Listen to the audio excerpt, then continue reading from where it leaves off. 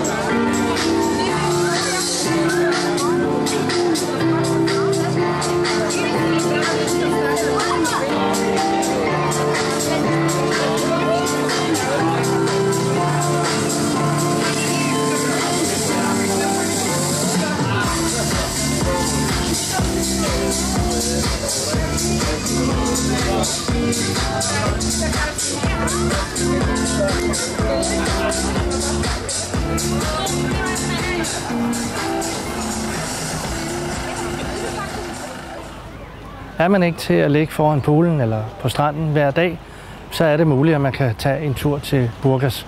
Lige foran lufthavnen, der ligger nogle saltbassiner og mudderbad. Det er en meget anderledes oplevelse, og det gør ens hud super lækker. Jeg har været nede og prøve det, og jeg kan varmt anbefale det. Se bare med her.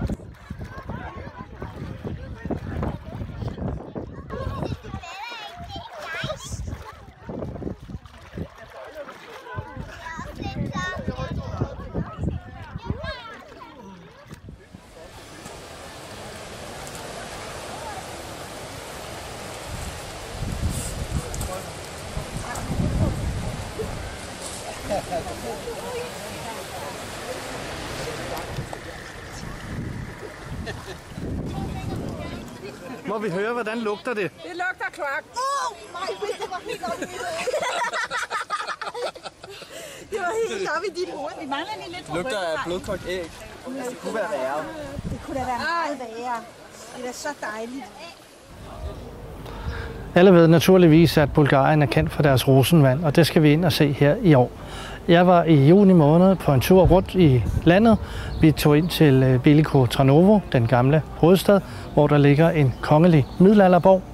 Efterfølgende var vi nede og se den russiske Shipka-kirke, som i 1971 blev nationalmonument, og så sluttede vi naturligvis af med at skulle ud og plukke roser.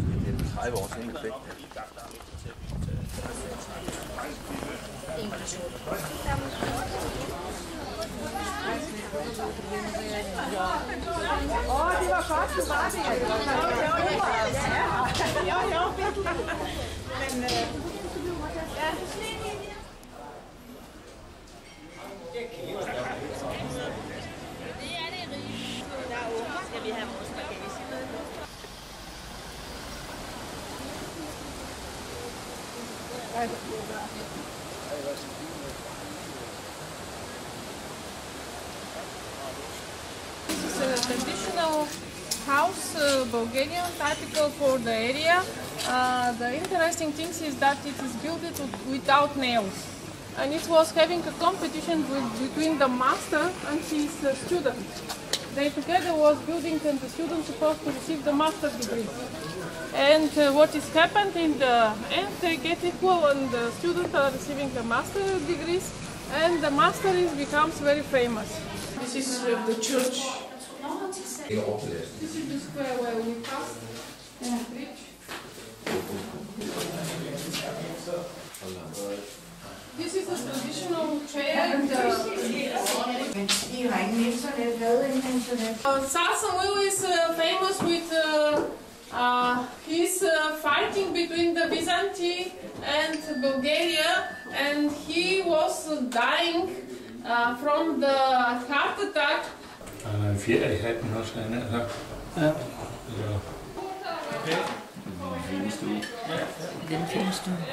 Nej.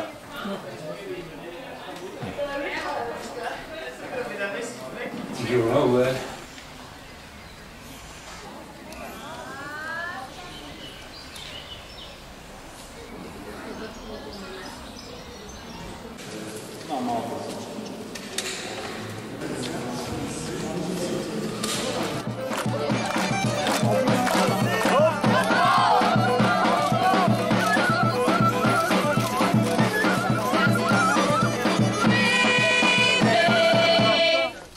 så er vi ankommet her til Rosendalen, inde i det centrale Bulgarien. Og der skal vi ind og følge, hvordan man producerer rosenvand.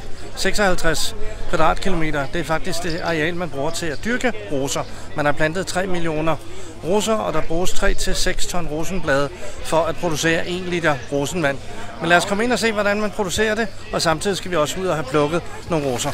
Man, man, plukker, man plukker hele rosen. Udsprungne roser.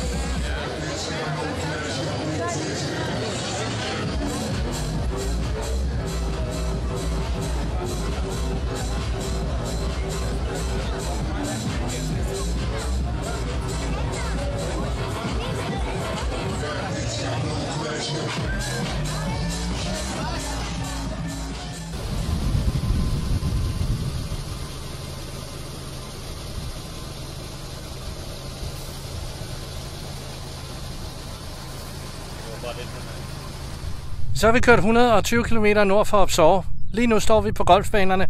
De ligger op lige nord for Balchik, og øh, vi er på Tracian Cliff. Den er designet i 2011 af Gary Player og har en fantastisk udsigt. Udover samtlige 18 huller er det muligt at se Sortehavet. Bare prøv at kigge med her.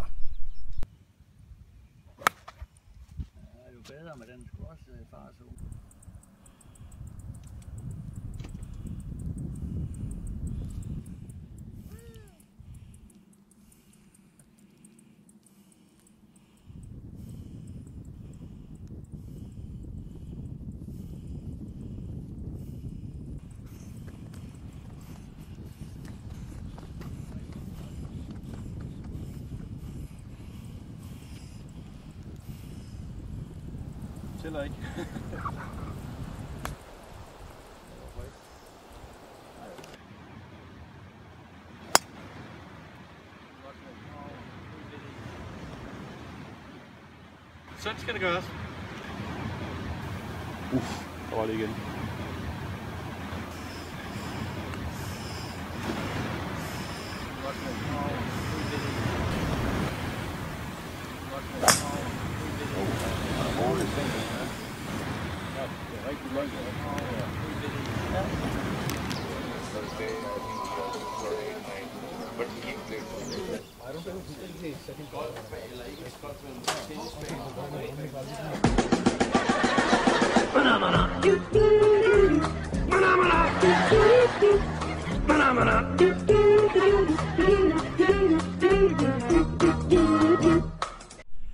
Så nåede vi igennem 18 huller her på Tracian Cliff Golf Course.